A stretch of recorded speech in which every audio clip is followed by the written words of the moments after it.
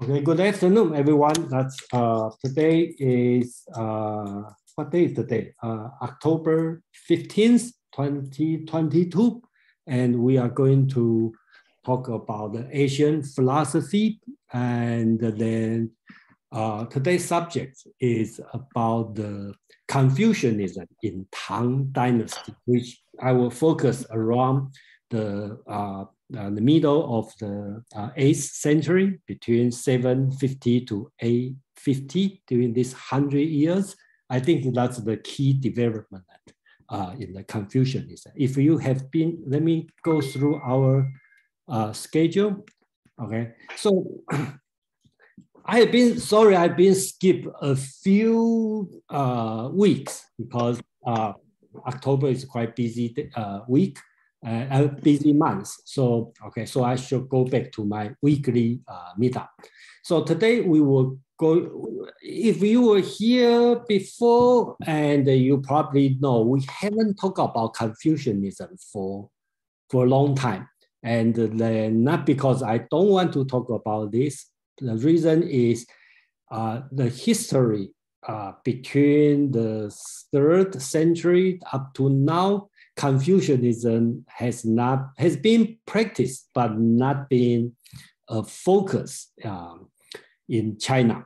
So right now, today we were going back to Confucianism. Okay, so uh, that's in the same. Uh, let's fix the time on the 750 uh, uh, uh CE. Okay, so that's this week. And if you read the book, the assignment reading, you will find out the next week uh, the, the, the chapter is talking about the uh, cosmologist in, and the most cosmo, uh, cos, uh, cosmologists are in Song Dynasty, which is 300 years later. And the author, Feng Youlan, only put about three, four pages into uh, Tang Dynasty. So I don't see that's a good treatment. So I want to make this week as a, uh, spatial uh, uh, a spatial a section give more information about the Tang Dynasty. So if you look at, go through the schedule, if I follow the schedule, next week we will talk about the uh, Song Dynasty, uh, the important, uh, hold on, the Song Dynasty, uh, talk about cosmologist.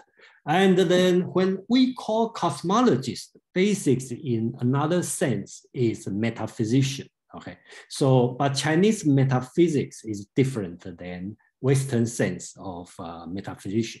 Okay, because the Chinese talk about the existence of God, the immortality of soul, or the uh, human, uh, the, the free mind, uh, freedom, okay, free will. But you know that's called the uh, cosmology. And later on, you will see uh, uh, so-called the two school and the principal school and the Maihai school. That will be kind of similar to in uh, European philosophy. We talk about continental, uh, Kantian, and Humean, this kind of separate. Then we go all the way around. So about uh, 300 years down the road, uh, Zhu Xi will be, have the Neo-Confucianism, which is important. Uh, the, so the development of the Neo-Confucianism is a long route, take about like three, 400 years to get mature. So that's the, uh, the case we are going to do.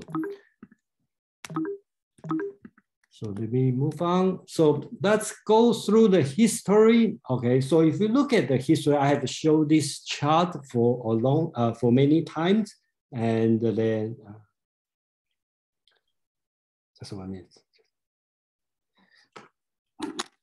Okay, so in this one, we most we spend time on the so-called the six famous school: legal, legalism, uh, Taoism, Confucianism, the school of names. All this one in the early time, and then we go through the history, right? So during the Han Dynasty, uh, we talk about Confucianism. That's important. The Dong Zhong Shu. Okay, if you remember uh, Dong Zhongshu, that's the Confucianism, but the Confucianism is different than the Confucianism Confucius taught. It's put a lot of effort on the heaven and the human interaction.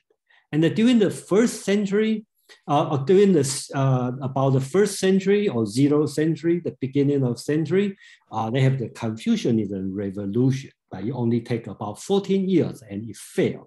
Then after that, the development is more on the religious side. So the uh, uh, the heaven part has go into the Taoism, so become the Neo Taoism. And in the Jin dynasty, they have the, uh, the China split to south and the north. In the southern part is more on the Neo Taoism. And the northern part will focus because during that time, the uh, Buddhism start to uh, uh, transmit, uh, transfer to China. So they become heavy Buddhism uh, thinking. So we have been spent a few weeks talk about uh, Buddhism, about the Xuanzang, about the Kumarajiva. Okay, so this famous Buddhism, they translate the Buddhism religion to China. And during this period of time, if you look at the Chinese development, basics, uh, the government still, uh, we can call it the Confucian government. But in the liter literature, philosophy, most people, they are in the thinking of uh, Taoist religion and also in the Buddhism religion. So during that time, it's a more religious uh, feeling okay, during the time. So today, we are going to talk about the four subject we are going to talk about this. Basics, we, right now, if you set your time frame, we are in the Tang Dynasty, which is uh, around 600 to 900 during this time. And then there's the four subjects I would like to cover today. So first one, I will spend, each one I plan to spend about half hour to cover. So um, the first part would be the uh, history of the Tang Dynasty. Okay, and then we talk about a person. His name is Han Yu. I would like focus more on this person. He's very important in uh, Chinese uh, philosophy, literature, history, political, and that uh, I think people have a different opinion. Some people will like him, some people don't think he did good, but I try to my best to introduce uh, what's his work. And then uh, the third part, I will focus on basics. That's the uh, reading for today. we talk about the Neo-Confucianism. Okay.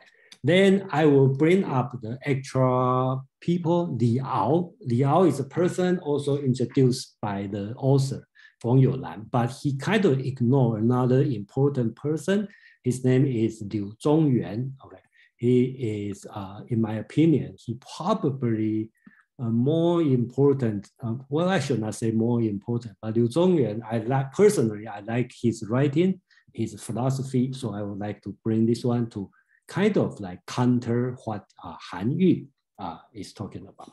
So before I started uh, for first part, we will talk about the uh, uh, history of Tang Dynasty. Is any question, comment, or any uh, thing uh, you want to talk about, or any question before I start? You can raise your hand. Or...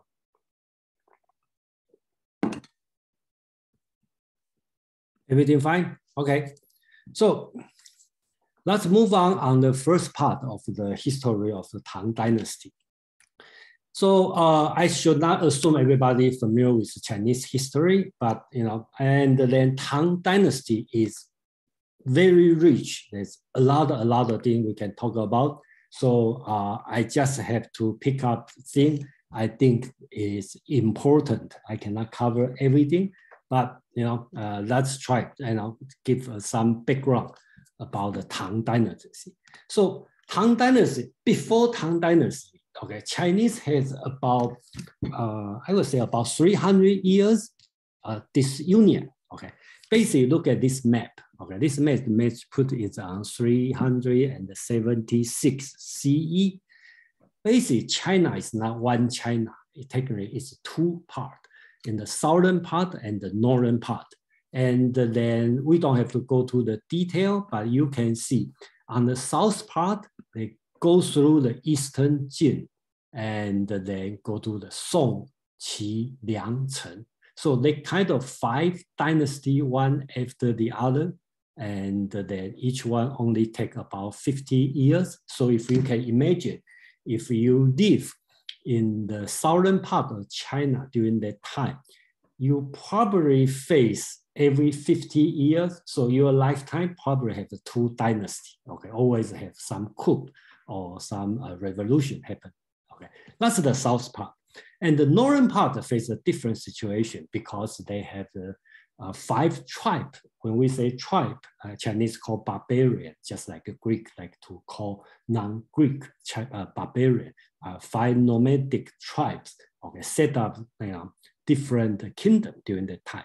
So north and the south are a little bit different. And uh, we introduce during this time in the southern part, the Chinese developed the so-called Neo-Taoism and gradually also have the religion, the Taoism religion start to develop during this time. So after that, you know, we will start to uh, have the unification of China. So after 300, 400 years, then they have the Sui and the Tang dynasty. So they start to unite, unite the China. So Sui dynasty is very short living dynasty, only lasts for, I think 39 years. And then come with the Tang dynasty. And the Sui and the Tang dynasty are a little bit different because they are not so-called pure Chinese race, basically, since they are in the north. So they carry the Chinese last name, but they all intermarried with family of the nomadic tribe and the uh, Turk, uh, Turk uh, origin. So they are not culturally, blood-wise, are not pure Chinese in this sense. And then, but their development, uh, Chinese usually will refer this period, uh, Tang Dynasty and the Song Dynasty, as the golden age because culturally it's very well developed. And the more important is uh, if you look at the China from the East, the Chinese culture, okay, I say culture, not only including writing, writing, technology, medicine, uh, food, okay, architecture, painting, uh, calligraphy, anything start to export, start to influence uh, from to the east side, which is Korea and Japan. And the Silk Road connect to the west side, to Indian, to Roman, uh, to the uh, Europe, start to connect it for the trade. So during that time, uh, there, there's a lot of development. So uh, all the Chinese or people in the Chinese culture like talk about uh, this period of time. And then it's very difficult for me to introduce the culture in the Tang Dynasty. I just have this all the world, poetry, calligraphy, landscape painting, philosophy, political thought, historical writing, scientific advancement, astrology, chemistry, medicine, and production of fine silk, porcelain, tea, and blah, blah, blah, everything, you know, during this period of time. Important concept I like to make here is so-called uh, Han Dynasty and the Tang Dynasty. Okay, so Han Dynasty. So people in China or not in Asia, people like to call this Han as a race. Okay, so Han more represent the race of uh, Chinese or the nation nationalism of Chinese, and the Tang is more represent the cultural Chinese. So in most of the major city, major country, you all find the Chinatown. Okay, but in Chinese, people don't call it the Chinatown. People call it the Tang People Street. Okay, so technically, Tang represent the culture, the food, the mm, living style. Okay, and Han more represent your race and nationality.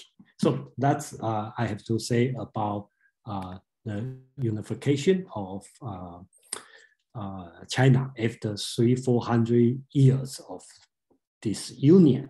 Okay. So if you look at this world, okay, during this time, if you take the global look, the bird's eye view of this world, you will see uh, in this world, actually, Europe is really not that important. Okay, so basics, you know, it's Roman Empire. And you look at this one. Uh, and then the major player in this world, you will see the Tang Empire here. And then they have the Tibetan Empire, which is established almost the same time as the Tang, uh, Tang Empire. And the Wei Wuo uh, uh, uh, uh, Empire, okay, on the north. So on the Asia, that's this one. And then uh, Umayyad, okay, after, I think if we take 750, it's Umayyad Caliphate. If 751, that become the Abbasid, okay, uh, caliphate. But anyway, basically, this world is dominated by Tang, Umayyad, Tibet, and uh, Weiwu. Okay, so that's the land um, uh, during this period of time. And I always like to think about this question when we talk about between 600 and 800, and 600 in Europe is uh, great, the Gregory the Great. Uh, after that, and 800 years, that's the Charlemagne, right? And that's the starting of the so-called uh, Carolingian uh, Renaissance, okay? So I think very hard, you know, between these two person from 600 to 800, I cannot think about any Western philosopher, you know, during this period of time. So, you know, I, I, I don't know, you know, probably I don't read enough. And if somebody know, you know, please let me know. Yeah, I, I don't know anybody know any famous people uh, between 600 and 800. But on the other hand, okay, in Chinese, okay, during this period of time, it's a ton of people. Today, I only can introduce three philosophers.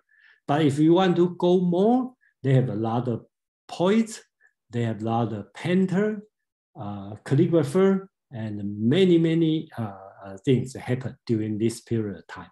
But unfortunately, in Europe, probably we cannot find many people, many famous advancement during this period of time. So that's the part very interesting to me. So uh, let me move on. Okay, since I uh, cannot have everything together, I just made this the major event between uh, 600 to 900. So we can roughly put this way, from 618 all the way to, to here, okay? This one is about 100 years. Here's about 100 years. This one, we will call it the, the golden age, okay, of time. So the country, the empire is growing so you will see a few uh, great empire, for example, Taizong of Tang, and we introduced about Taizong. Okay, it's during the Xuanzang, okay, the uh, Buddhist monk, right? And another famous empress Wu, that's the Chinese only female emperor, empress, okay, female leader. So that's all the golden time. And after that, they have Xuanzong, okay, uh, Tang Xuan, yeah, Tang Xuanzong and uh, his famous uh, lover, Yang Guifei.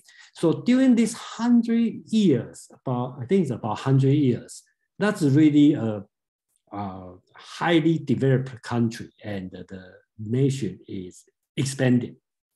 But at the 751, okay, uh, Chinese start or Tang Empire start to face some defeat. So first defeat is uh, uh, the new empire, Abbasid uh, Caliphate, they uh, aligned with the Tibetan Empire, fight against the Chinese Tang Dynasty.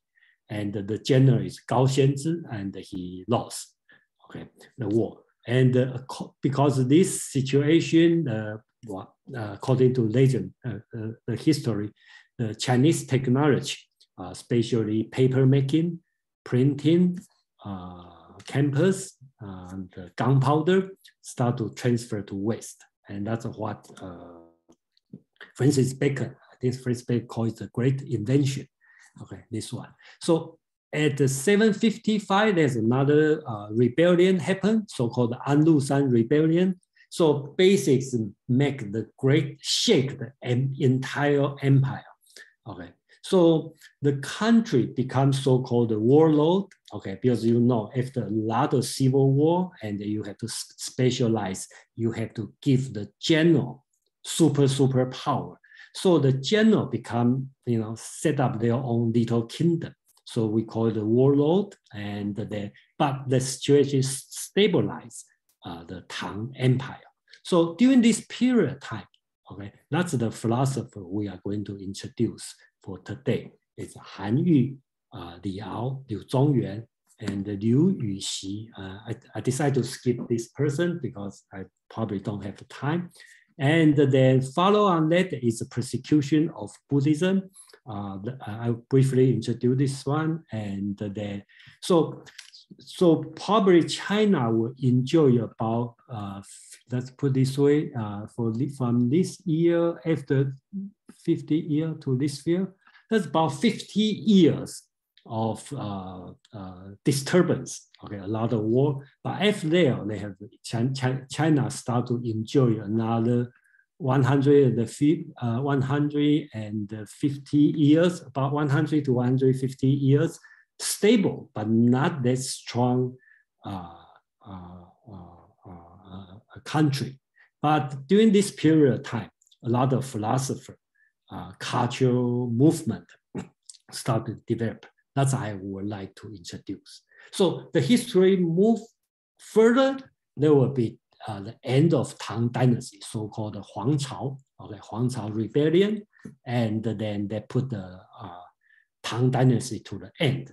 But after that, they have about 100 years um, uh, disunion. So I call it, usually historian call it five dynasty and the 10 kingdoms period. Okay, so we don't have to go detail introduction, only hear this name, you know, in the in this land, they have a five dynasty and the 10 kingdoms. And when historian call five and the 10, it means much more than that. There's a lot, a lot of warlord. So after 100 years, then China get a stabilize again. That's so-called the Northern Song dynasty. This one, the Northern Song dynasty and the Southern Song dynasty. So this one is another period of time. Uh, it's interesting and I will spend time next week. We will talk about in the Northern Song dynasty because during this time.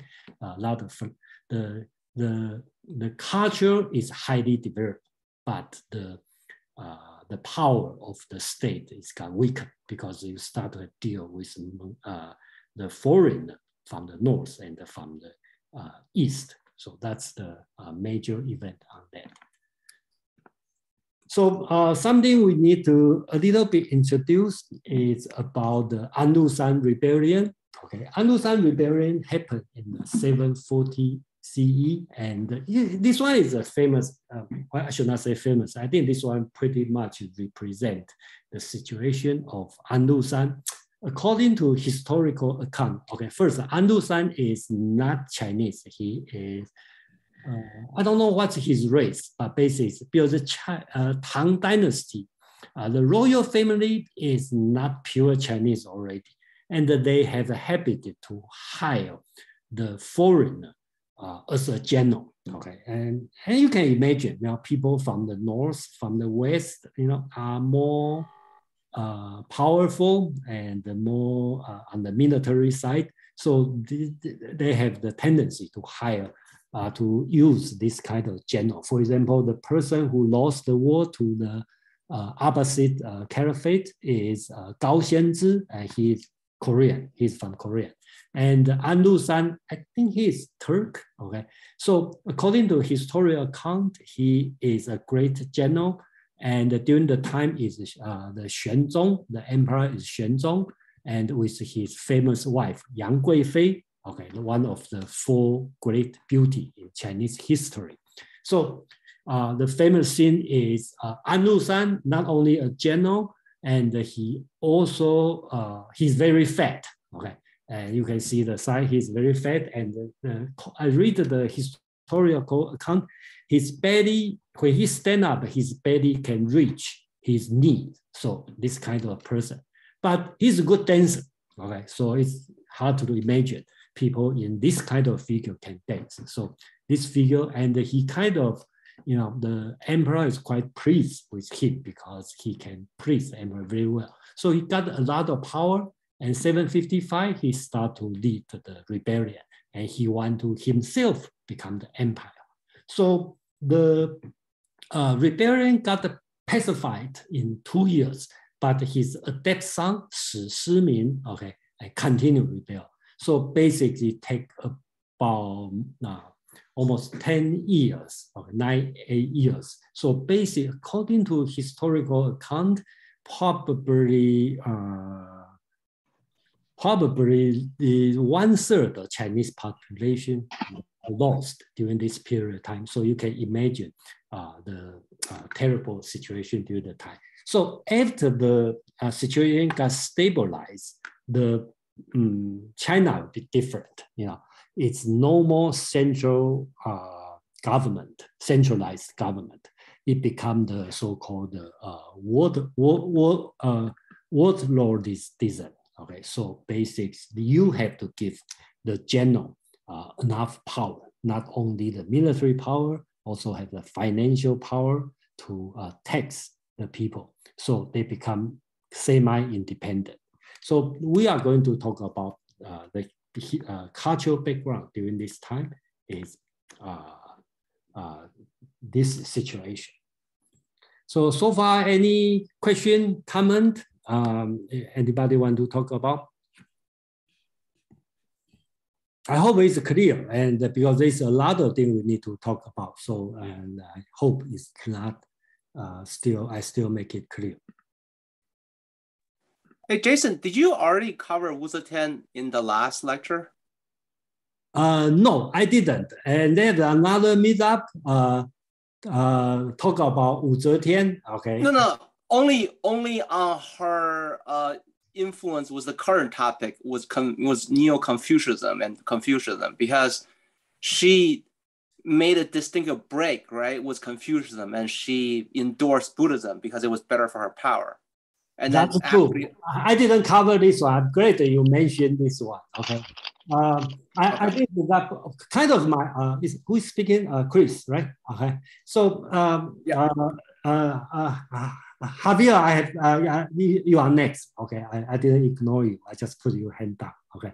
Um, so yeah, em Empress Wu. Okay, it's an interesting subject. I was thinking about talking about this, but I'm not sure I have enough philosophy to cover. Okay, I uh, so uh, if you are interested, I probably can bring back uh, uh, oh, I will talk about this just in a minute, okay?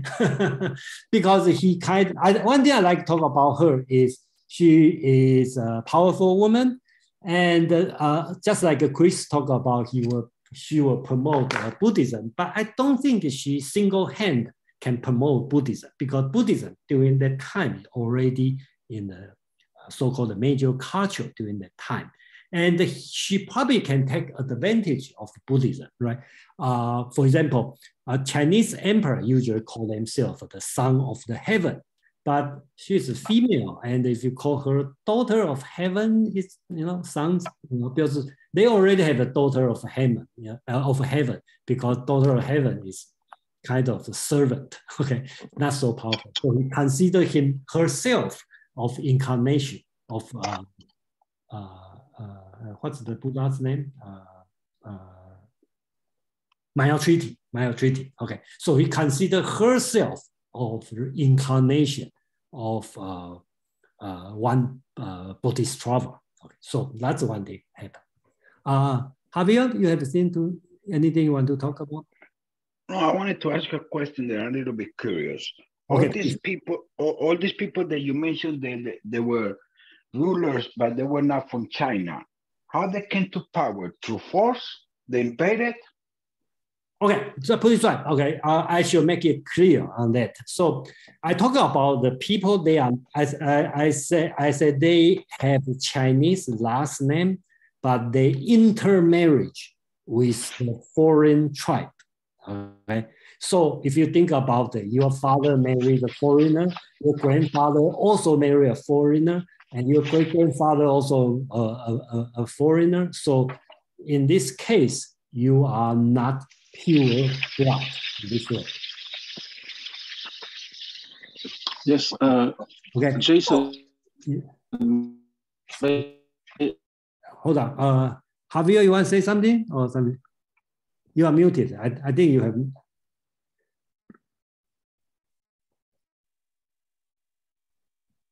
Uh, it's Quinn. Quinn, you are speaking.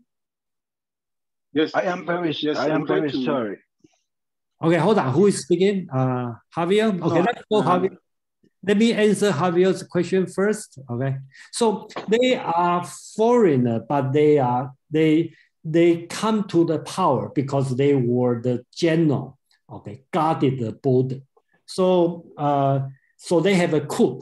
Okay, to overthrow the emperor. So they set up the Tang Dynasty. If I have to make it clear, uh, make it simple, that's the way uh, it happened. So they are Chinese, okay, from the father side, but you know their culture is a lot of Turkish culture. Okay. When I say Turkish, is Turk? It's not today's Turkish. It's more on the Asian side. This kind of culture. Uh, Quinn. Yes, I, I just would. I just want to add a piece of historical uh, precision. Uh, during the three centuries of uh, collapse of empire between the fall of the Jin dynasty in uh, 317 in the north and the reunification in 589 by the Sui dynasty, Mhm. there was there was a group of uh, called the Guanlong aristocracy. Okay, Mhm. it's written G. Guan, Guan, Guanlong aristocracy. Yeah. Yes, it's written G U A L L O N G, and the G is pronounced like a K in the pinyin system. So Guanlong aristocracy, and that Guanlong aristocracy was in the northwest, and they, as uh, Jason said very clearly, the the father side was uh, Chinese, and the side, most of the time, were Turkish people from Central Asia. Okay, and uh, Central Asia correspond to what is called nowadays uh, Kazakhstan, uh, Uzbekistan, Kyrgyzstan, Tajikistan, etc. And that group of Guanlong aristocracy uh, combined the traditional Chinese culture, uh, the writing, the governmental structure, the ideal of empire, with the uh, military power of the Turkish cavalry. So that group called the Guanlong aristocracy would be of utmost importance under the Sui and the Tang dynasty. And they kind of uh, developed themselves during almost two centuries. And their triumph was precisely the creation of the Sui dynasty and the Tang dynasty. So those two dynasties were very cosmopolitan in the sense that there's a Chinese root, but there's also an opening to Central Asia. Yeah, uh, thank you, thank you, uh, thank you for making it clear on that. So, okay, so right now let's back to what we were more focused on. Uh, just just keep in mind at that time Chinese culture are more open. Okay, basics you many many reasons. Okay, so Chang'an, a capital, is a metropolitan city, just like today's New York. Okay, because there are a lot of foreigners go to there. So, uh, but right now we are talking about after the An Lushan rebellion. Okay, Chinese become a little bit different because after 50 years war, okay, and a lot of warlords has been set up and then it's stabilized. And then usually that's the time another culture will start to develop. Okay, so uh, let me talk about the uh, some cultural background during that. Let's set up as 8th century. Okay, what's going on? And one, so first, the mainstream ideology is branded for Taoism, or we should call it the Neo-Taoism or Taoism religion, and Buddhism. Okay, just like Chris uh, talked about, because during the time is Buddhism is important. And then uh, Buddhism and Taoism had increasingly come to the emphasis on the otherworldliness, right? And the Confucianism is more, if you read uh, Confucius Analect, you know Confucius more focused on this world, not other world. Another new development is so-called imperial examination. Okay, so that's the starting from the Tang Dynasty and get mature in the Song Dynasty and then to the end of the 20th century. So Chinese have 1300 years experience uh, taking examination. So it's a very important cultural influence. So exam is, but they have, they, it's a common knowledge of writing, Chinese classic literary style among the state office, officials. Okay, so the subject had been changed from dynasty to dynasty. But and I just have to say during the Tang dynasty, the test is starting, but probably not that serious compared to uh, Song dynasty or later on in Ming or Qing dynasty. So the common culture helped.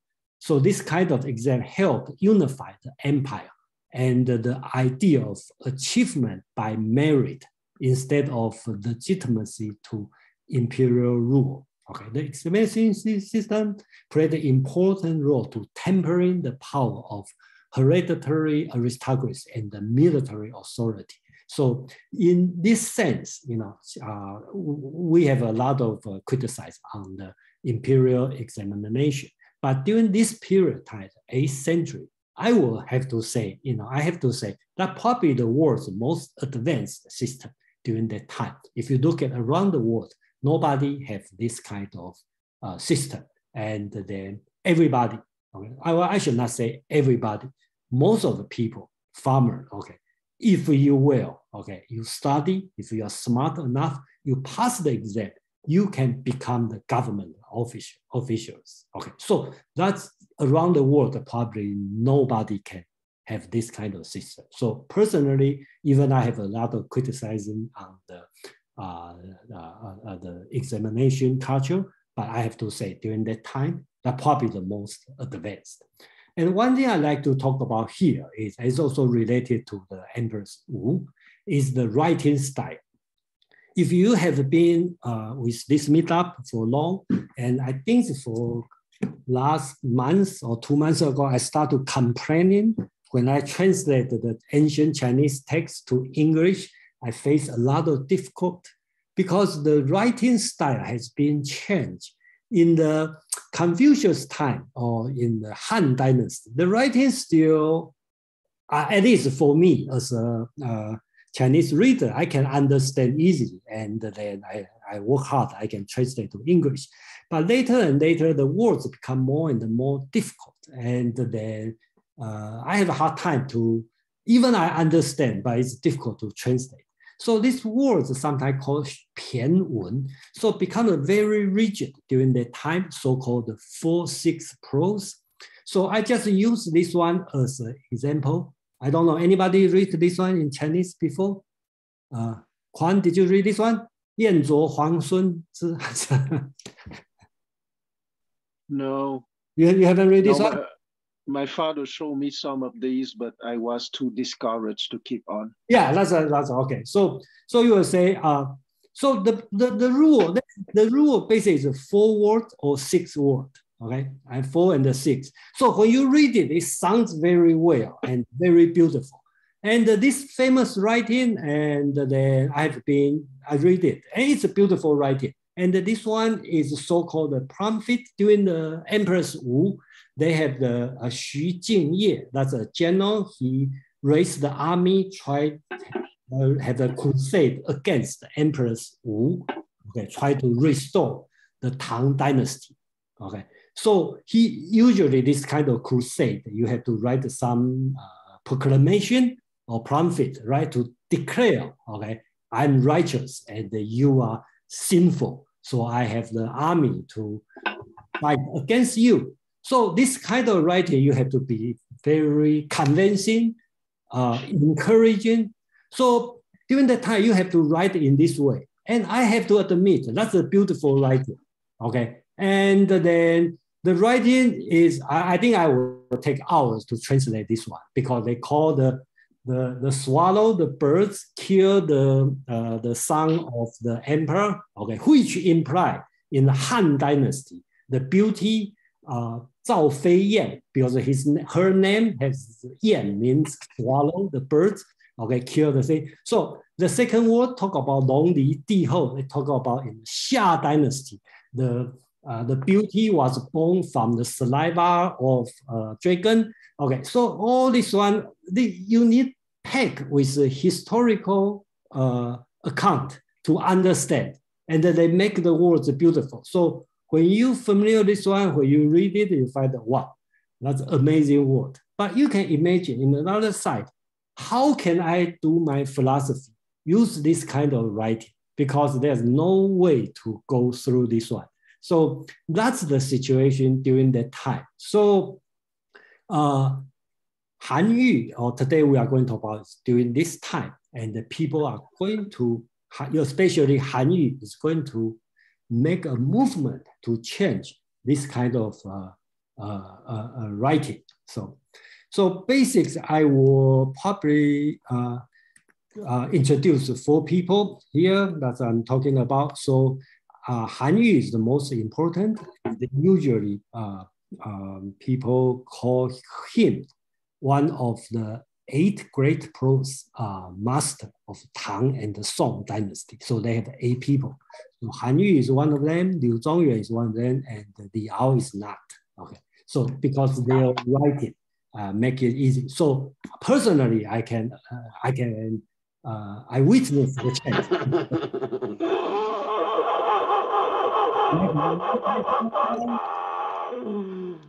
Who is the okay? You take care. Okay. Thank you, Joe. so uh, uh, let's put it this way. When I read to Han Yu, Li Ao, and Liu Zongyuan, I find out it's easy to read, just okay, much easier than before. So I really uh, benefit from their uh, uh, uh, literary movement. Another way to look at Han Yu's work is kind of like a Renaissance in Europe, right? During the time after Crusade, um, people start to discover uh, the Aristotle's work, start to look back on the Greek philosophy because they wake up from the uh, uh, Christian thinking.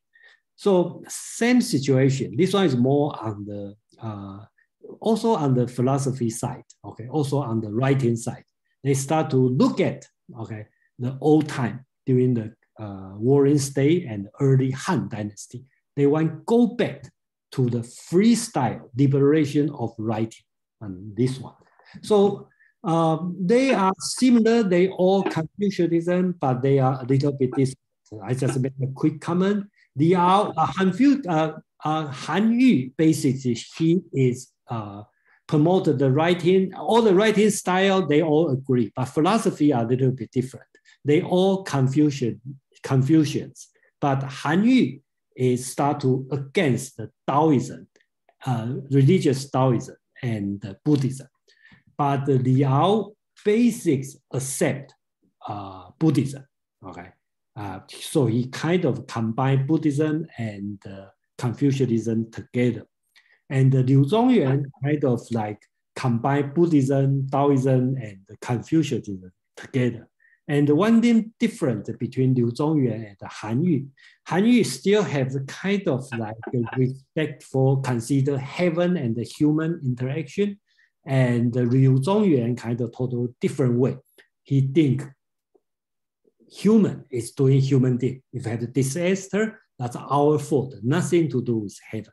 So they have the slightly different in this way, but in general, we can call uh, all of them Confucianism. So as their movement, they have the thing happen is, uh, I need to uh, have a brief introduction, is so-called the Huichang persecution of Buddhism. So it happened on the year of 841. Uh, the persecution of Buddhism is compared to the Western uh, Great Inquisition uh, the uh, Christian church did is just very, very small, okay? Because, it, because it only happened uh, three times in China. In general, Chinese um, treat religious more uh, freely than uh, Europe. So just quickly talk about the reason why have the persecution. Basic is follow what Han Yu is arguing. So first, economic reason, because of the war and they have a war against the Uyghur tribe and caused a lot of almost bankrupt the country. So the emperor Wu Zong, okay, have uh, confiscated the Buddhism, uh, Buddhist monastery, okay, to because a lot of uh, believer will donate gold, you know, to make the gold uh, statue of Buddha. So they have to confess this one. That's for the uh, economic reason.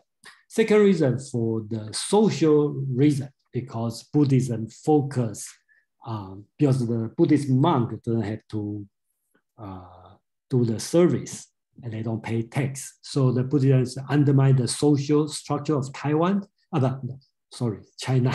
they claim they wrote the loyalty, the son to father, and the subject to the ruler, and encouraging people to leave their family and become monk and nun. That's basically Han Yu's argument. And another religious reason, that's Wu Zong, the emperor, his personal reason, because he believed he is a strong Taoist, Taoist religious believer. So he believed Taoism should make people live, pursue immortality. And uh, Buddhism encourage people go to nirvana, which is equal to death, no birth. So he, when he worry about his own death, he doesn't like Buddhism. That's his personal reason. And unfortunately, uh, Wu Zong on, only lived to, I think, 31 years old. He died very young, uh, probably by the uh, elixir, because he practiced Taoism uh, immortality, take a lot of strange chemicals to extend his life. So turn out kill himself. And after he died, uh, the persecution stopped. So only short period of time. So, but uh, Han Yu's influence uh, to the Buddhism is not make a dent on uh, Buddhism religion, but his influence on writing is long living. Okay, and uh, and his uh, influence on philosophy also take a uh, a strong influence on that. So basically, I finished the first part of that, and I will stop for a few minutes if you have a comment or you have a question, and that's before we move on to the second part, which is uh, we talk about how as a person. Yeah.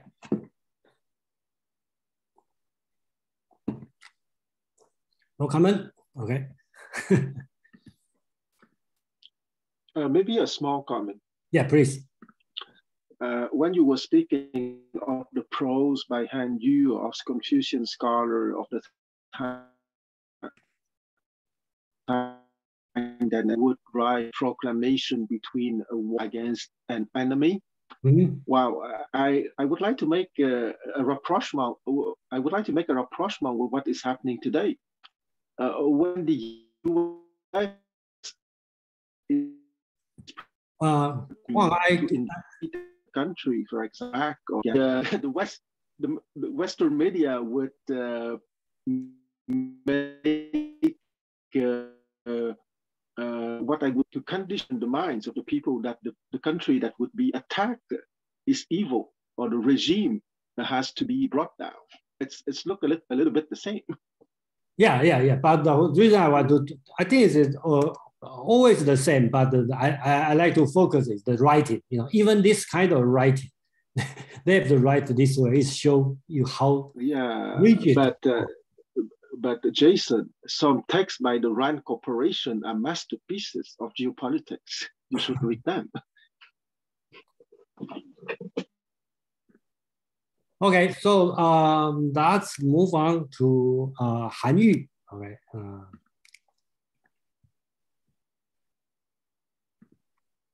Okay, so uh, this person, Han Yu. All right, so let me see what would be my note.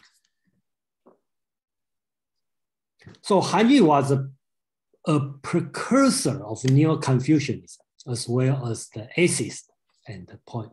Okay, put this way. Even he doesn't know he is doing the Neo-Confucianism. That's the later name. Okay, uh, people call it Dao Xue. Okay, that we will talk about next week because during this time he just want to change the writing style. He just want to change the mainstream uh, philosophy. 792, okay, he uh, failed four times on the uh, imperial, imperial exam, exam, so he not necessarily uh, easy to get his position. And then um, he tried to not only reform, he also want to reform the uh, Chinese government. And then he reject the traditional prose writing, so-called the Pianwen, which is introduced and becomes so burden, which has become so burdened and restrictive rule and almost impossible in the writing. And the resulting literary freedom gives rise to a new genre of prose of romance. So you will see after him, the writing become more interesting. Okay, we will introduce some of them. You will see it's not possible uh, in using the Pianwen to write, and the Chinese writing become much open. So I will consider this movement. You know, it's a great movement, and and, and the next great movement will be wait. We have to wait until uh, 20th century, okay, the so-called the, the language reform by Hu Shi, the vernacular Chinese movement. So people start to write like today we are writing. So uh, you will see this kind of movement is important to open up a culture. But of course, always have some conservative uh, people will think about, well, that cut off uh, the culture from the past. But you know, uh, personally, I will appreciate this kind of movement because you will open up, up for the new uh, uh, future. So Han Yu also uh, uh, the central, centralized government and want to return back to Confucian's idea. And uh, he deplored Taoism and Buddhism as a teaching, which encourages self-centeredness and this uh, disregard others. That's his view. And criticized the Buddhism monk and the Taoist priest become they do not work, do not produce, and the worst word, they teach people do not work. So that's his complaint about the social work. So Han Yu believed Buddhism and Taoism were causing the Chinese to think they did not need to worry about their treatment of others in this world. Okay, because they are too more too much uh, focus on the, uh, the other world. So Han Yu like to quote Mencius and Xue, the Great Learning. I think it's the beginning of this year. I introduced on this one, and the, I will find the chance to introduce another one, the doctrine of the Mean and the Yi Jing, which will consider important. So uh, so his writing has laid the foundation for the later Neo Confucianist and for the, the new uh, development. So he attempted his new position in the campaign. So he got the influence. Let me see. So, so okay. So I think the, some of uh, some his famous writing we will introduce study of the way, so-called Yuan Dao, on man, on spirit. Okay. So that's his famous writing. And uh, the basics that I would like to call him as a, this kind of movement, like a Chinese uh, Renaissance movement. So if I make it uh, simple, you know, you can see his writing, his support the centralized government. He is against uh, individualism. And uh, so this side seems like he's more on the control side, but in the writing, he supported liberation in writing. So it's open up in the philosophical, uh, philosophical side, philosophical, philosophical writing. That's he is uh, going to do. So one thing is about his um, uh, literary reform. Okay, Han Yu boldly advocated to use the Zhou philosophers and early Han writer as a model for the prose and the writing. If you recall a few slides ago, we talked about the Pianwen. Okay, so this is such a rigid uh, writing, and he, I would say, his uh, movement is strong, and that's also we can see why he failed four times in his imperial exam, because during that time, people probably not appreciate his writing style. Okay, if you think about most of people writing in this kind of rigid form, and people will see his writing is unacceptable. So this reform brought about the liberation in writing. The sentence units in prose writing was now free to seek its own length and structural pattern and according to logic and content rather than slavish conforming to the rule of Pianwen. Okay, with this new literary freedom, Liu Zongyuan, Han Yu, uh, the chief was able to write charming travel and uh, landscape piece and he write a lot of fables. And the new uh, genre of prose writing soon developed, tales of love, romance, heroic feast, and adventures, and many mysterious and supernatural and of imaginary incidents and fictionalized history. These prose romances in classical prose style were written for entertainment and literary and did not reach the mass until much later. So, so we last time we introduced so this kind of writing, then you know the writing start to become have his in entertainment purpose. Okay, because most of people start to understand uh, what's the writing. So this situation doesn't happen during the Tang Dynasty, but after the Song Dynasty, the people, uh, more people can read, and the Ming Dynasty, which we introduce the novel, you know, become the popular. Most of people, well, I should not say most of people, but the people, regular people, as long as you are literate, you can uh, uh, read the novel. Okay, so that's his great achievement. So some of his writing, he write a lot, and then I didn't read uh, most of them, some important I'd like to uh, list here. Okay, important is the one is so-called on the origin of Dao, Yuan Dao. That's the most famous. And another one is talking about teaching, uh, teaching. Okay, and then uh, explanation of study, and this one is proclamation to the crocodile. You can see he, after you change the writing style, let's open up another way to write. So he write the proclamation to the crocodile. Basically, he is just accused the crocodile did something wrong, eat people, you know, and he tried to teach the crocodile.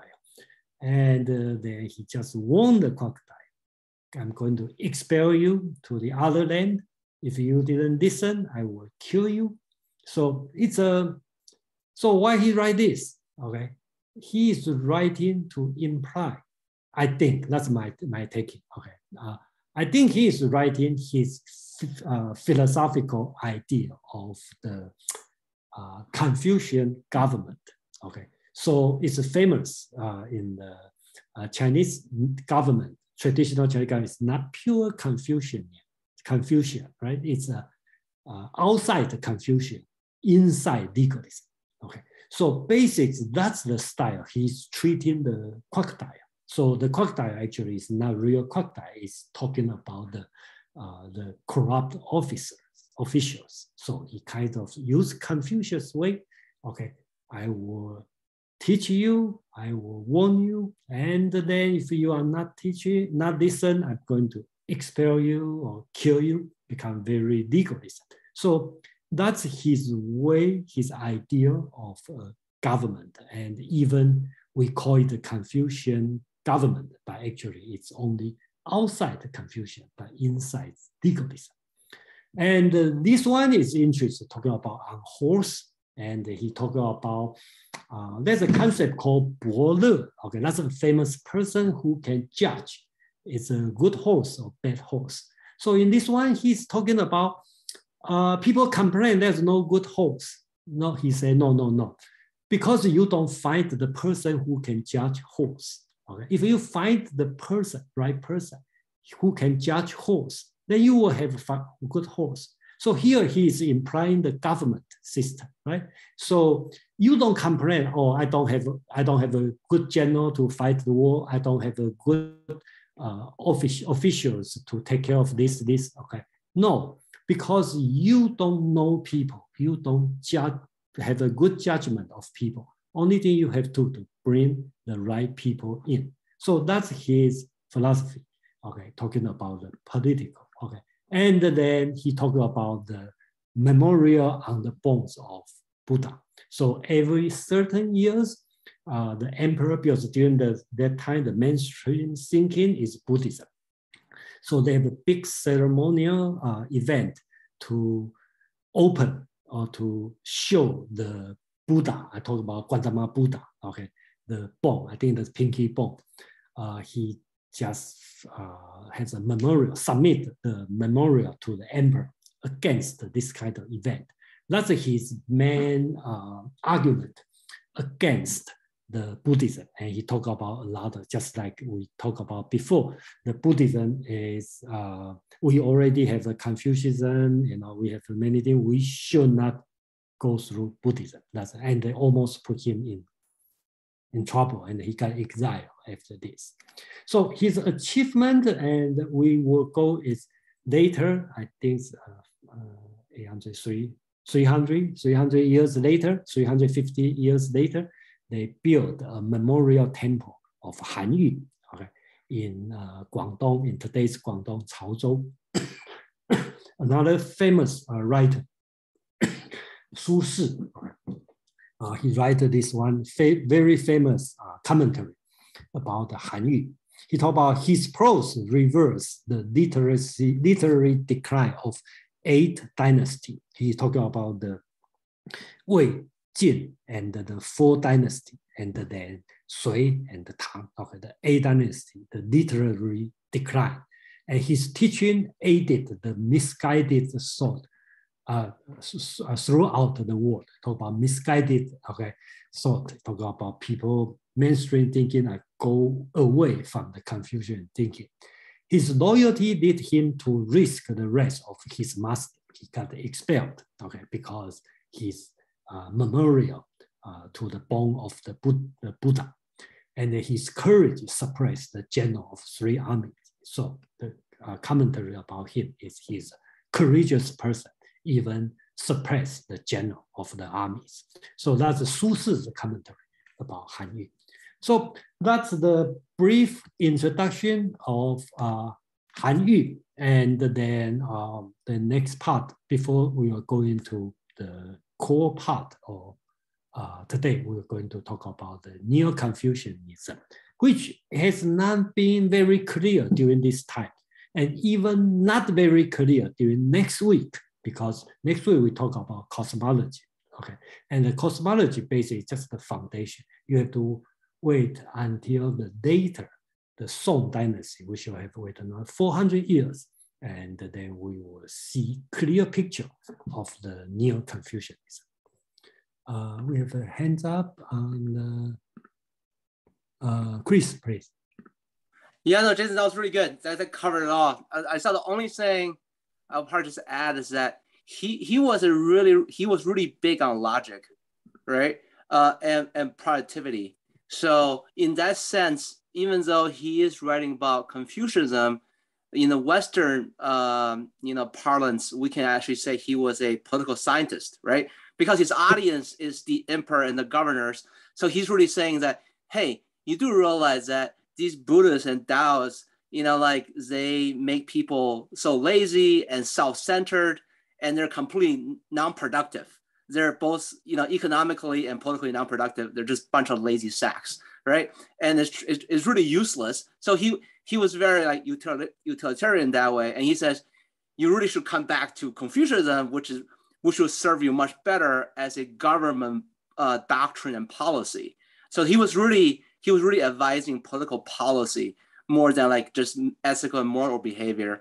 Um, and his proposals are very logical. He was just saying hey you know like forget about whether you believe the afterlife and coming out of the wheel or not. But my philosophy uh, with Confucianism is going to be just much better for you, you know, in, in the earthly realm, right? So, uh, so I think that was really good. So he was very, very focused on logic.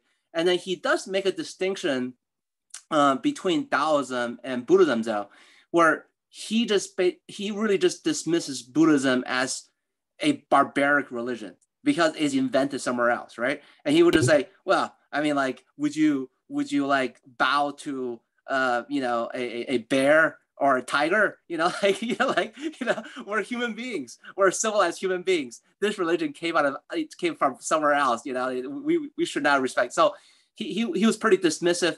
Where was Taoism, he's more gentle. He would just say, well, these people are a bit confused between assigning importance to your current life versus your afterlife, right? Uh, and your spiritual life. So you really should be more focused on your your practical current life. So as yeah, anyway, but overall is really good. Thank you.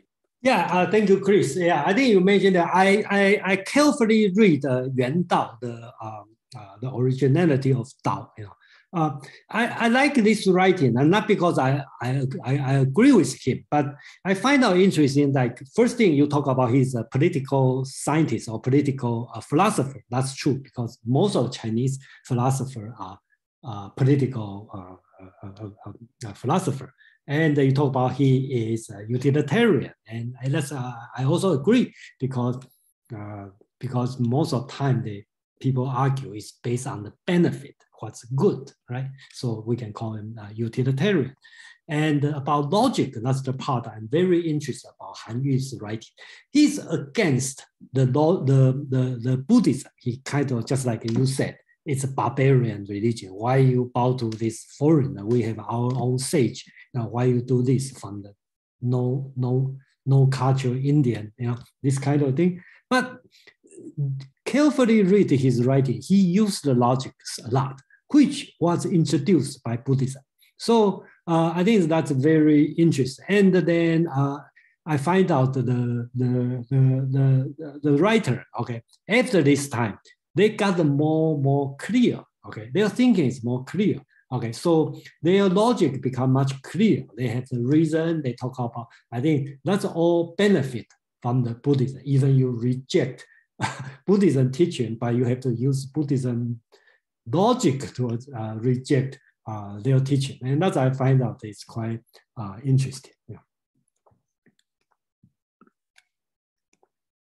So, okay, so let's move to the third part and we will talk about the uh, Neo-Confucianism. Okay, so uh, I think this part is important if you, because we can say for the last hour, we only set up the background of the um, historical background and then we talk about the person. Yeah. Before I was thinking about we probably bring all the philosopher uh, together, but I think that's probably too messy and Han Yu probably is good enough to represent uh, this kind of thinking because we still don't see the uh, result until four, 400 years later. We will see the Zhu Xi have the movement, which will change a lot. So uh, I'm going to read from the uh, writing of Feng Youlan, and I copy from here. I think it's pretty good. Okay, his writing is this. This one is from uh, Feng Youlan, uh, the short, uh, the short history of the Chinese philosophy. He said Confucianism had that by this time, that means the 8th century, already lost the vitality which it had once uh, manifested in the form of such men as Mencius, Xunzi, and Dong Zhongshu, that's in Han Dynasty. The original texts were there, and their commentary and the sub-commentary were even more numerous than before yet they fail to meet the spiritual interest, the need of the age. After the, uh, the revival of Taoism and the introduction of Buddhism, people had become more interested in the metaphysical problem and in which I call super moral value, or as they were then phrased, the problem of the nature and the destiny. Okay, I think this part is important because in traditional Confucianism, if you are in a group, we read uh, analects, right? Confucius constantly focus on the today's situation, and when he even ask people not just respect the spirit, okay, don't doing too much work on that. So Confucius is focused on this word.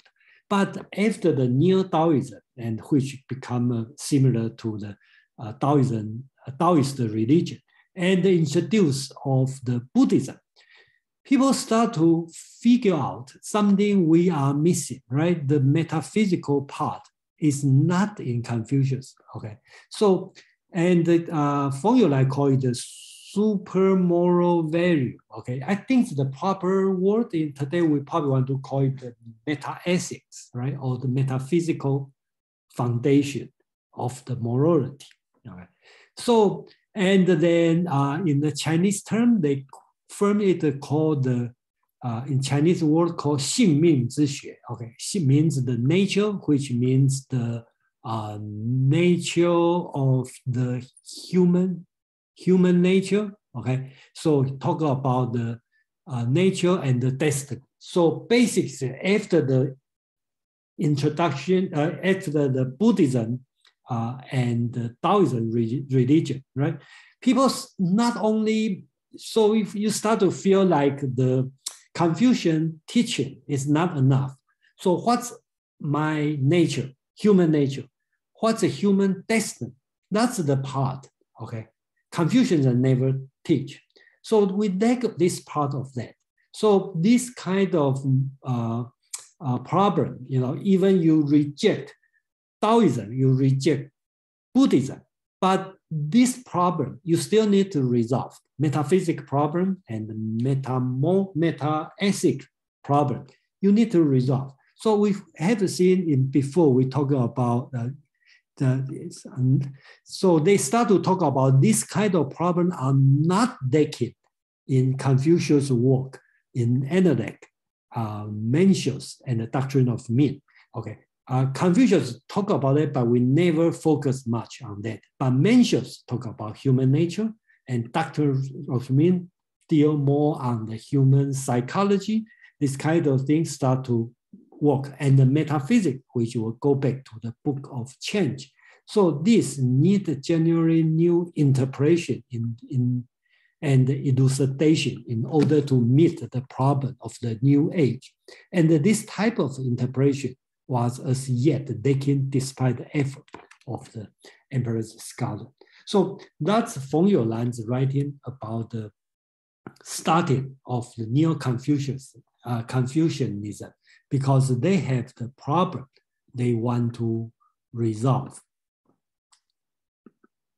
So this one is talking about the, also from the uh, uh, Feng Youlan's writing, basics he talked about, I think that's also important. There are three lines of thought that can be traced as the main source of Neo-Confucianism.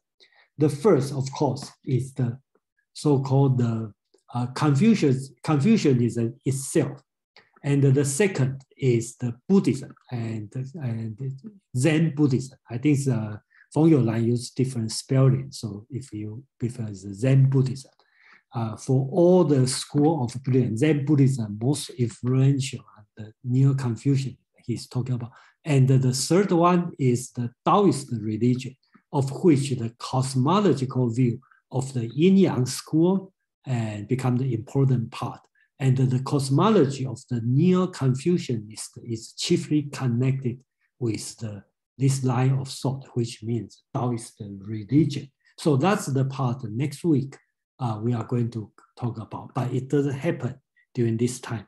It happened in the uh, 300 years later in the Song dynasty. So these three lines of thought were heterogeneous and even in many respects contradictory. Okay, so we talk about three things, right?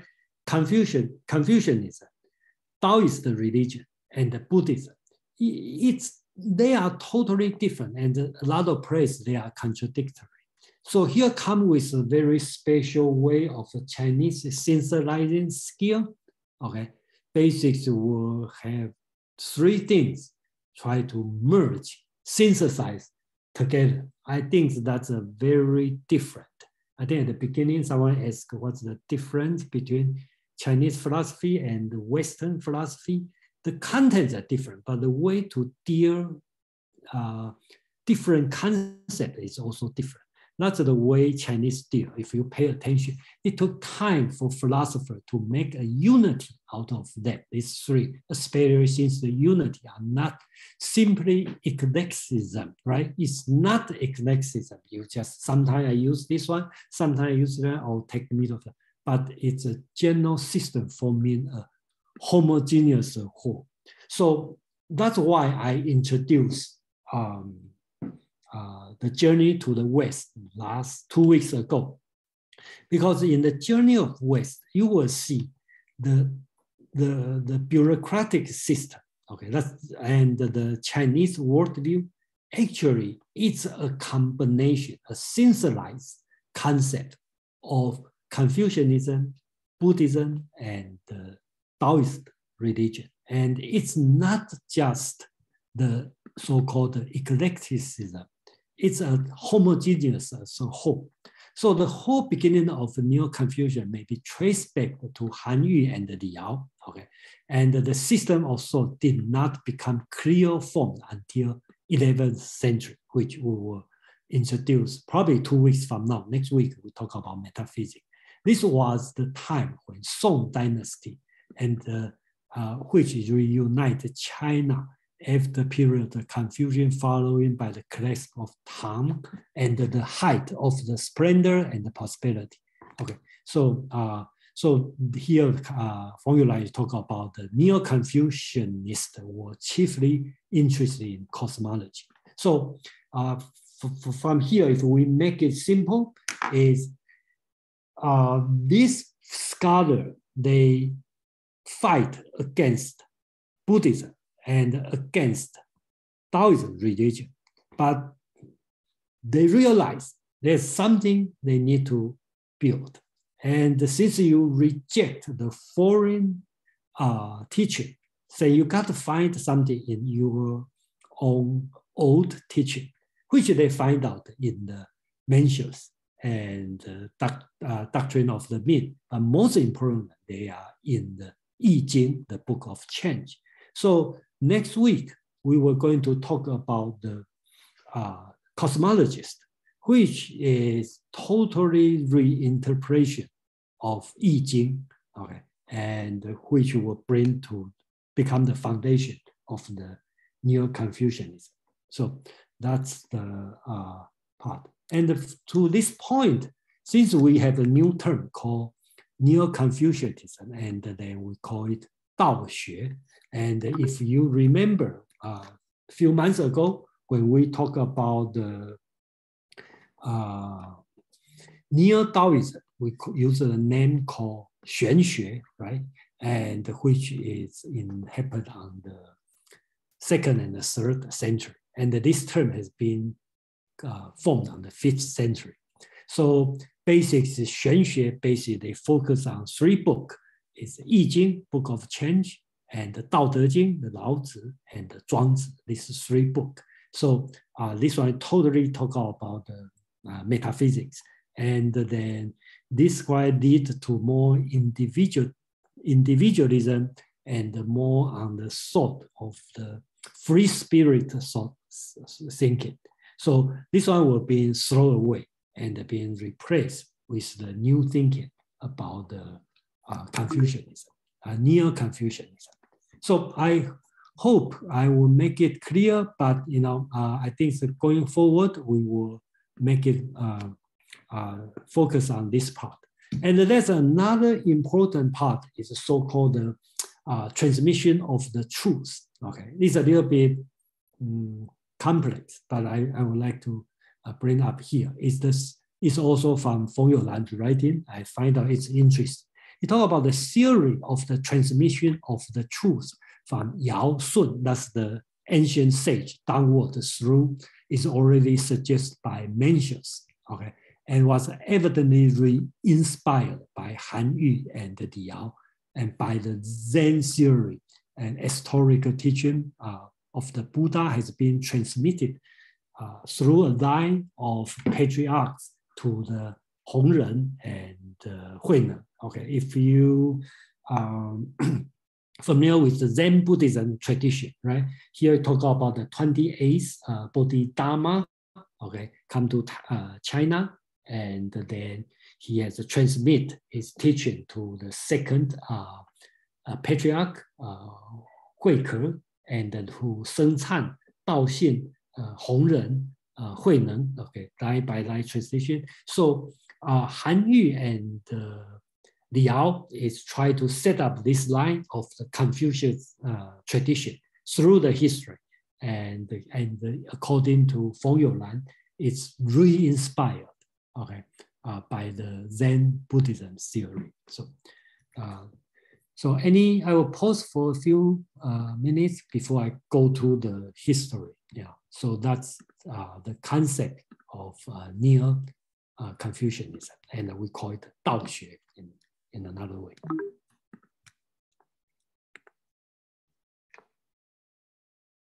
Any comment?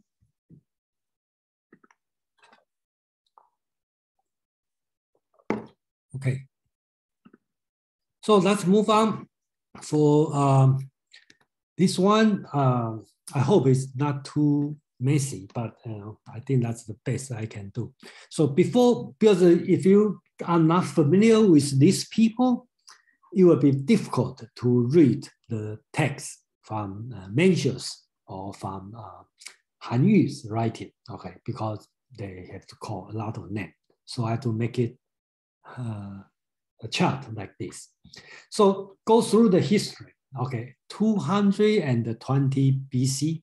Okay, that the three sage king. Okay, Emperor Yao and Sun and uh, Yu.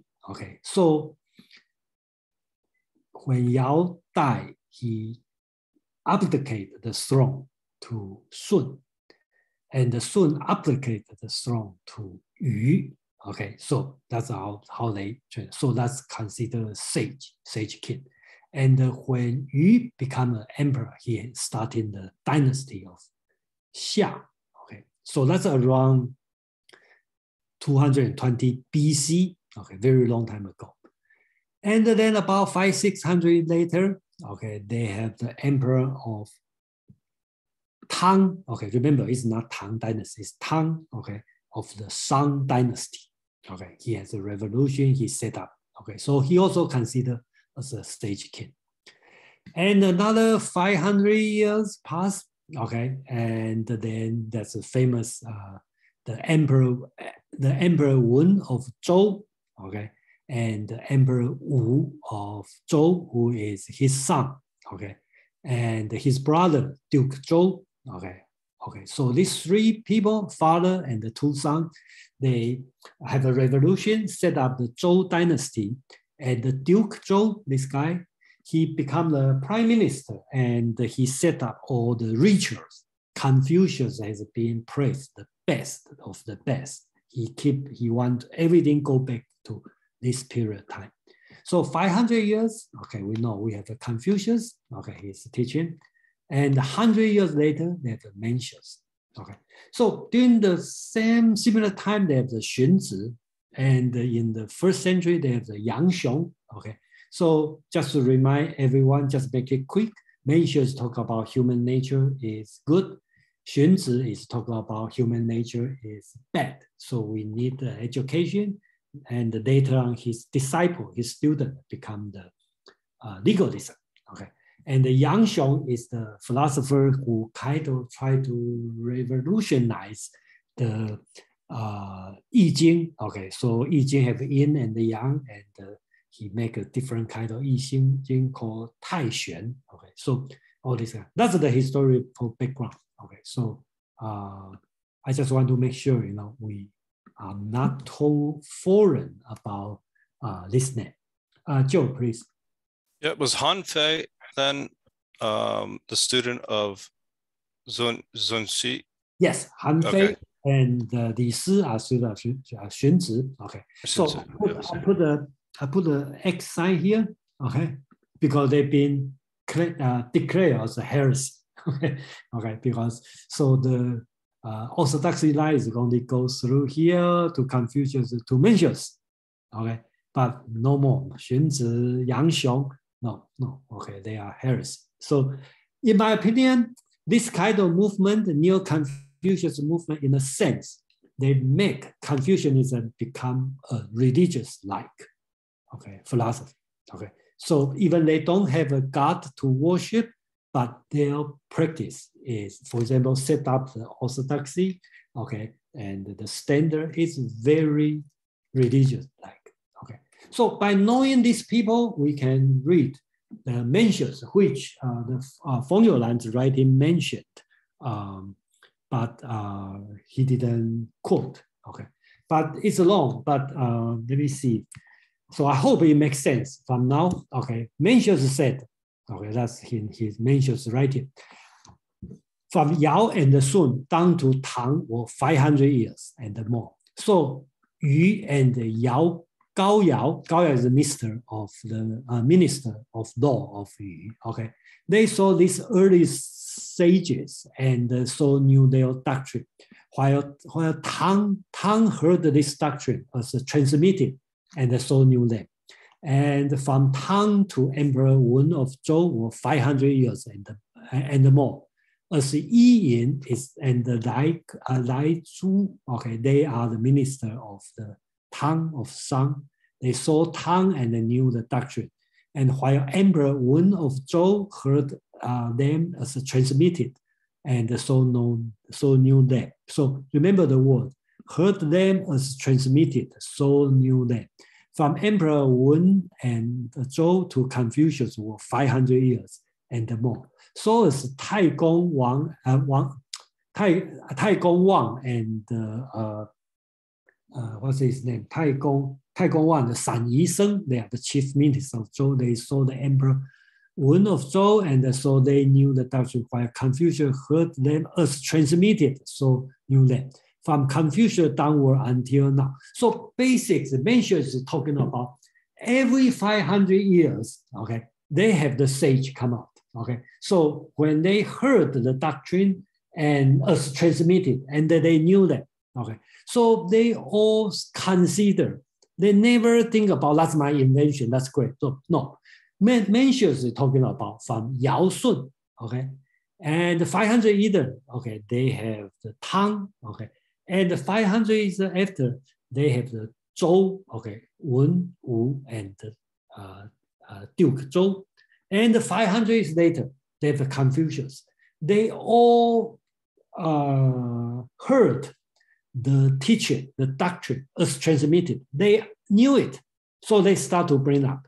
So that's the sage tradition. Okay, that's from Mencius writing, and this kind of writing has been ignored for a few hundred years.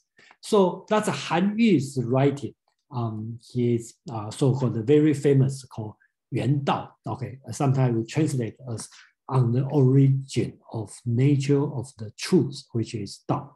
So you, uh, you can pay, start to pay some attention on his logic. Okay, it's become more westernized logic. So what I call the Dao is not what has here been called the Dao by Taoists and the Buddhists. Because everybody in Chinese, everybody talk about Dao.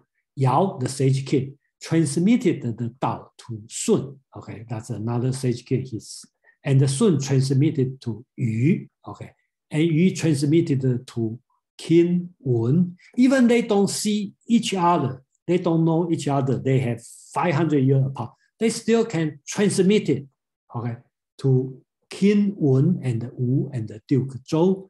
And when Wen and Zhou and Wen and Wu and the Duke Zhou transmitted to Confucius, remember, Confucius is 500 years later, okay, but they still can transmit it. So Confucius transmitted this to Mencius, okay. Mencius is over 100 years after Confucius. He never met Confucius, but Confucius still transmitted to Mencius. After Mencius, it was no longer transmitted. Okay, Xunzi and Yang Xiong select from there, but without reaching the essential portion. They discuss it, but without sufficient clarity. So he declared Yang Xiong and Mencius, I believe, uh, uh, and the Xunzi, I believe their teaching probably sort of popular during that time. That's why he declared they are uh, heresy. in, in another sense. So then he talked about the teaching, the moral teaching of the Confucianism. Okay, he talked about universal love is called benevolence, which is ren, and the behavior which are consistent with benevolence are called righteousness. Okay, so this one is something new in the writing. He start to make a clear definition, right?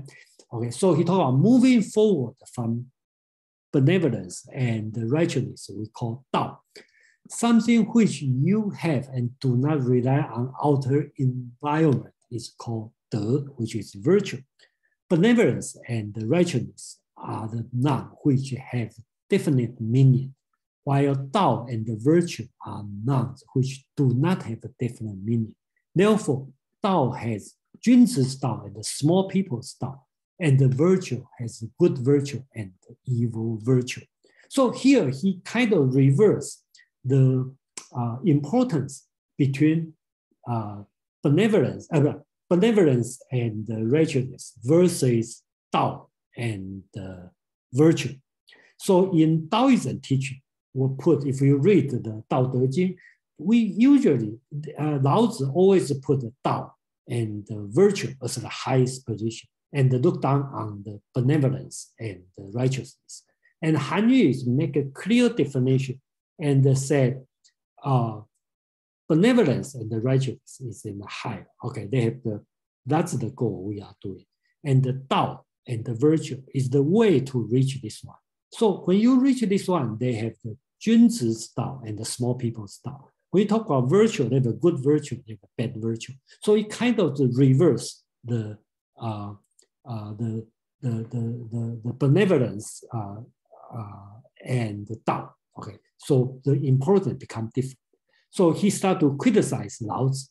Laos despised benevolence and the righteousness, not because he verified the benevolence and the righteousness, but for he has a narrow-minded. Okay, he started to criticize Lao Tzu, the Taoism sage, a narrow-minded. It is like someone who watch the heaven from under the veil. He said the heaven is very small, but actually it's, not. Lao Tzu takes small favor as benevolence and the timid and the worried as righteousness. So it is nature that he looked down on benevolence and righteousness. The Tao which Lao Tzu referred to is his concept of Tao and not the Tao I am talking about. The virtue which Lao Tzu referred to is his concept of virtue and not the virtue I'm talking about. All the virtues I have referred to are said in integrating benevolence and righteousness, and they are verdict of the people. The virtues which Lao Tzu has referred to are set without benevolence and righteousness, and they are only his personal opinion. So basically here, he is use the so-called new logic to criticize Lao Tzu. Okay, he said you just narrow-minded. Okay, you make the wrong definition. So because you are looking at it small, that's why you see the uh, benevolence and the righteousness are small. Actually, because you are following the small Tao and the, the uh, small virtue. So that's his arguments against um, this one.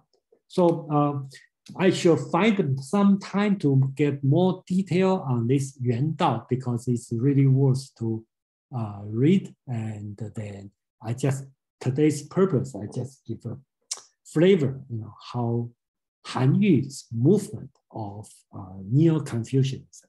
And then um, a few weeks later, when we, next week, we will talk about metaphysics. And after that, you will see start to see the influence coming through. Yeah, and then if you compare to the original analects, you'll find oh, probably very different one uh, uh, when when when what Confucius original teach. So I will stop for a few minutes before I move on for the last part, and I'm going to bring up different philosophy and kind of compare to what Han Yu is talking here. So I hope uh, it's, it's clear. So if you have a question or comment, yeah, please.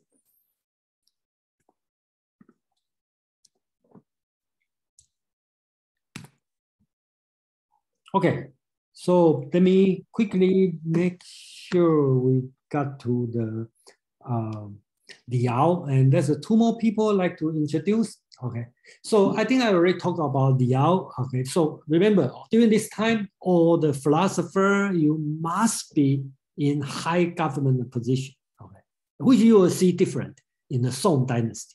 Okay, in the Song Dynasty, you can have no job, no real job, and you can be famous.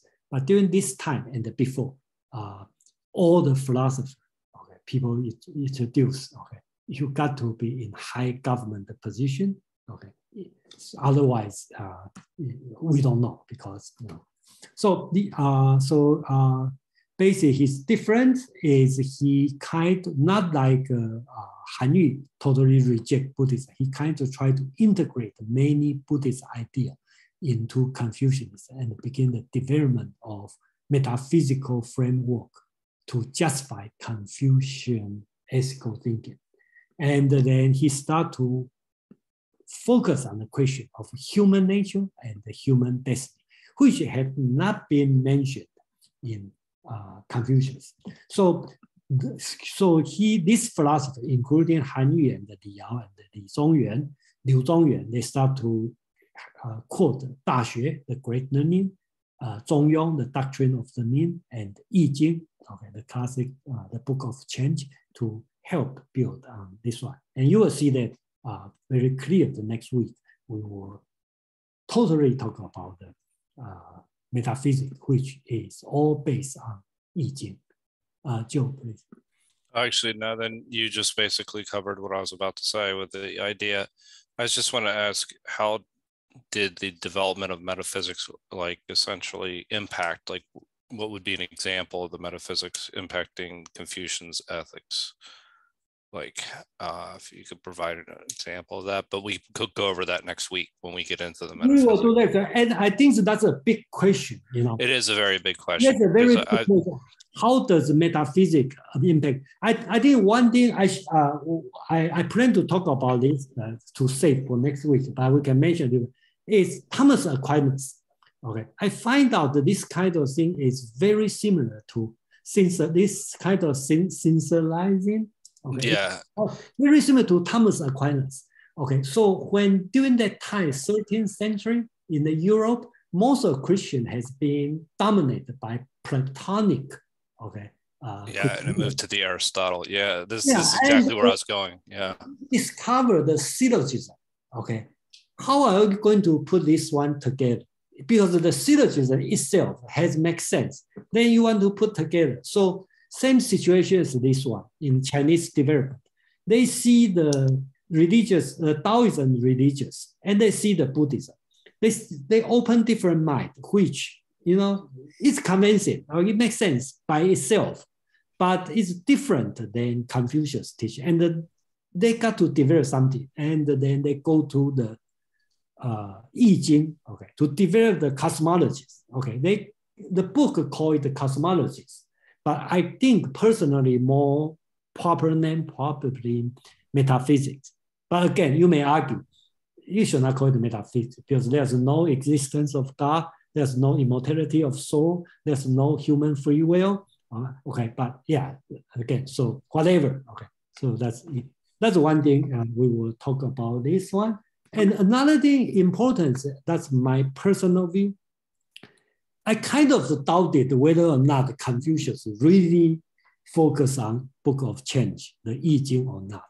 Okay, I know most of people will say, "Oh, Confucius like this one, do that," but I kind of doubted because I see probably being added during this period of time because people start to think uh, that one is important. So we put the I Ching in Confucius mouth on that. Well, again, I, am not going to argue on this one. I know that a lot of people may disagree on this one, and the next week and the following week we can discuss on this one.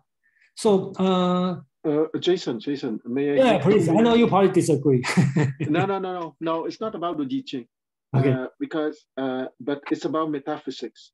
Okay, please.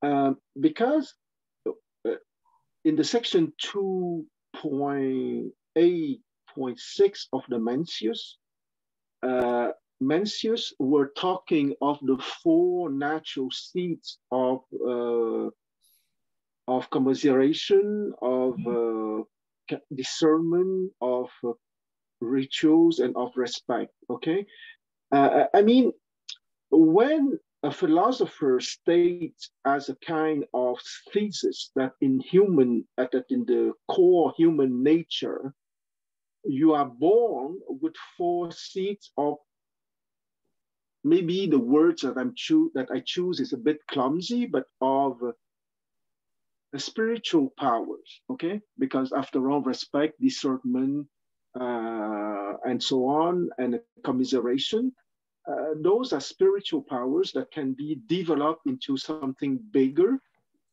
Don't you think that it's a kind of pronouncement, of metaphysical pronouncement, of uh, uh because uh, it's uh, it's a statement, okay? There is no proof of it, okay? And we know that when we talk about metaphysical considerations, it's about statement about the ontology of reality. Yeah. And, yeah. and here, and here we have a very clear distinction between the natural world and the spiritual world. And it's in the text that has been recognized as having been written uh, 23, 24 centuries ago, yeah. before some Neo Confucianism. Okay, that's another thing. I that's my personal um, philosophy or personal understanding. I don't think the Mencius has been that important before this time. Okay, so if you look at the uh, grand historian uh, by Sima Qian, okay, right. Mencius may not be that important before okay. this time. Because before this time, before this time, what do you mean? Tang Dynasty or Song Dynasty? Tang Dynasty before Tang the dynasty. Okay because before that people hardly people hardly mention Mencius. If you look at the uh, Sima Qian's the great uh, historian record, yeah. he put the Confucius in the whole set, right? And he put a disciple of Confucius, a lot of it. But how much he write about Mencius? He read was probably one paragraph and then the three people, okay, they put together. So yes, so you can see probably not that important. And today we constantly call Mencius because of this movement. So of course, Mencius is more mystical, historical, okay, talking about heaven, superpower. Okay, he talked about Hao Lan Zhi Qi, the all-inspiring Qi. Okay. Yeah. Another thing is not in Confucius. So uh, again, that, that's my thinking. Okay, because I try to look at not from the uh, Neo-Confucius point of view, I look at, try to, before Neo-Confucius point of view. So that would be a little bit different, so. Uh, historically, historically, uh, the four books have, do they, do they have been uh, have they been acknowledged during the Tang Dynasty as the corpus of classical? I think it's, uh, happened after this time. Okay, it doesn't recognize us these four books before this time because uh, you see right now all these philosophers, Li Ao, Han Yu, okay, they start to talking about the doctrine of mean. They talk about yeah. Great Learning. Okay, and apparently they are not that important before this time. That's why they start to focus. And I kind of suspect Xun Zi and Yang Xiong probably popular, not really popular, but people talking about it that. And unlike today, people don't talk about Xun Zi, people don't talk about Yang Xiong. But during that time, probably people talk about this. That's why, you know, they Han Yu will say, oh, the Xun Zi or Yang Xiong, oh, they only know part of that. You know, so that, that that's the reason I have this kind of uh, statement. Yeah. Mm. Okay. So thank you for the question for I know a lot of people have a different opinion on this one, and I'm not saying I'm right, but basically that's the way I read uh, the ancient text. Okay. So uh, I think right now, I think we talk about Li Ao, and I really, let me jump to Liu Zongyuan, and I think Liu Zongyuan is a great person, and then uh, uh, Feng Youlan didn't bring much on that. So he is different than Han Yu. Even both are Confucianism. Okay, Confucians. So basically, we can talk about him. He write a lot of poems, fable, reflective travelogue.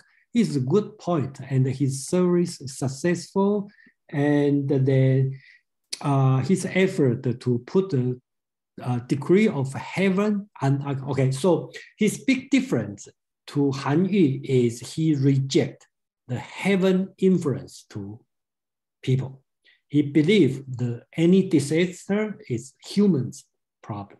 Okay, so this one make him not so orthodox. Okay, in compared to others because in the uh, later Song scholar, they kind of were to, in a way, to deal with heaven.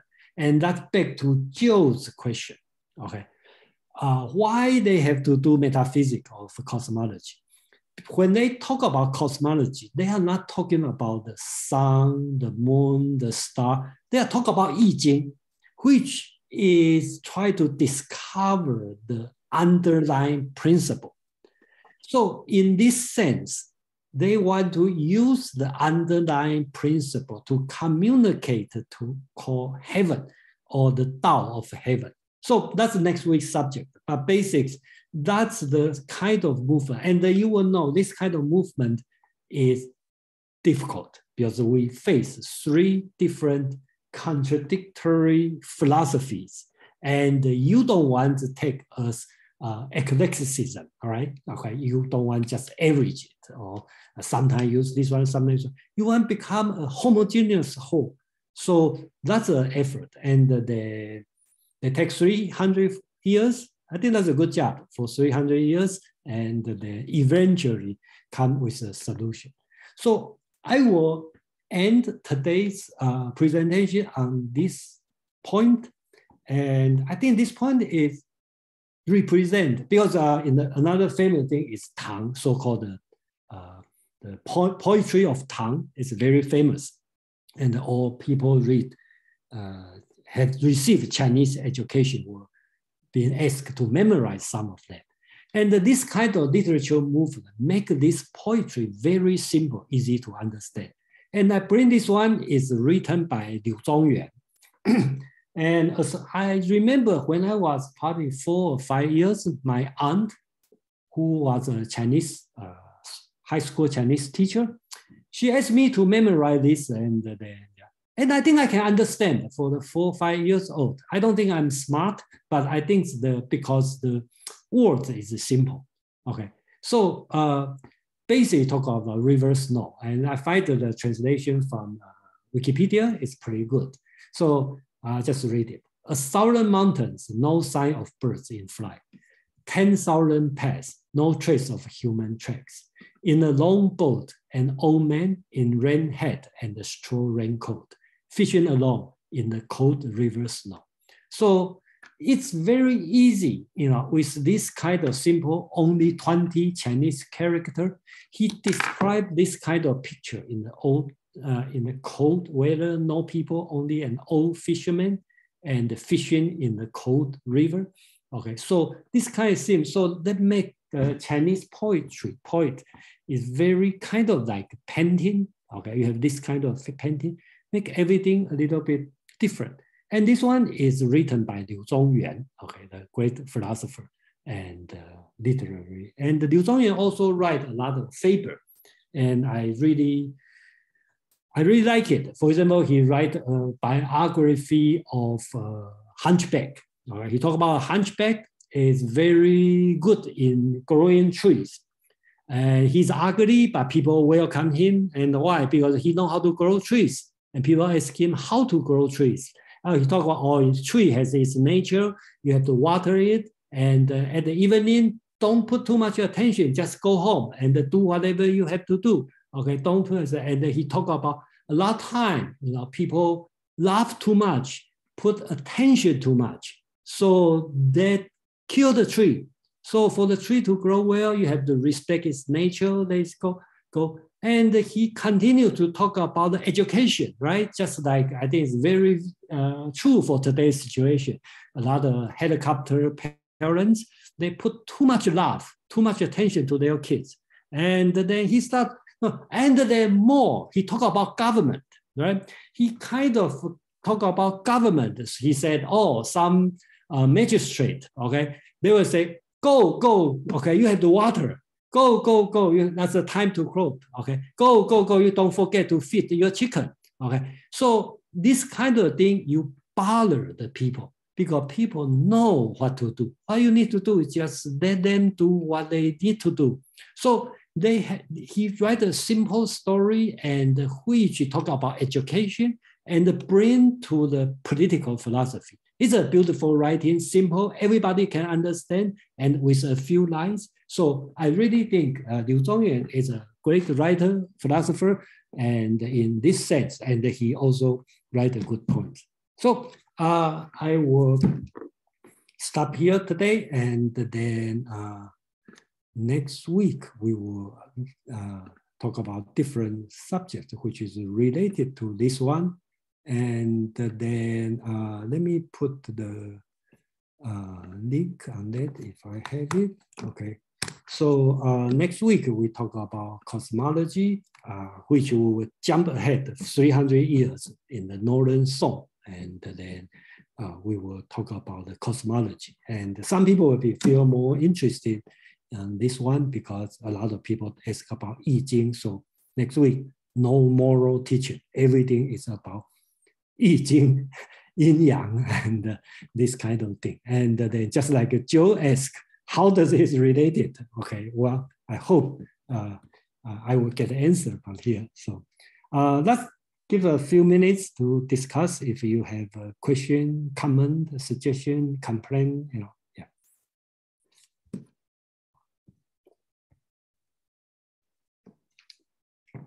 No, so I hope, you know, today's presentation makes sense. You know, it's not too uh, dry, and they feel I kind of feel like it's it's difficult. Only three a few pages, and then I try to stop in so many things together, and then make my job a little bit difficult. And then uh, I I wish I talk about the journey to the west, which is more fun yeah, to talk about.